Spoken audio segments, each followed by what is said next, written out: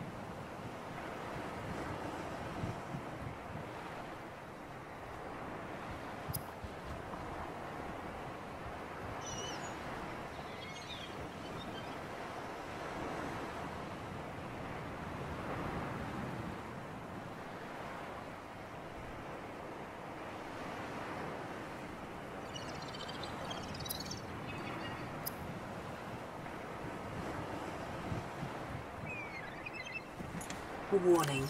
Local radiation readings suggest the Aurora's drive core has reached critical state. Quantum detonation will occur within two hours.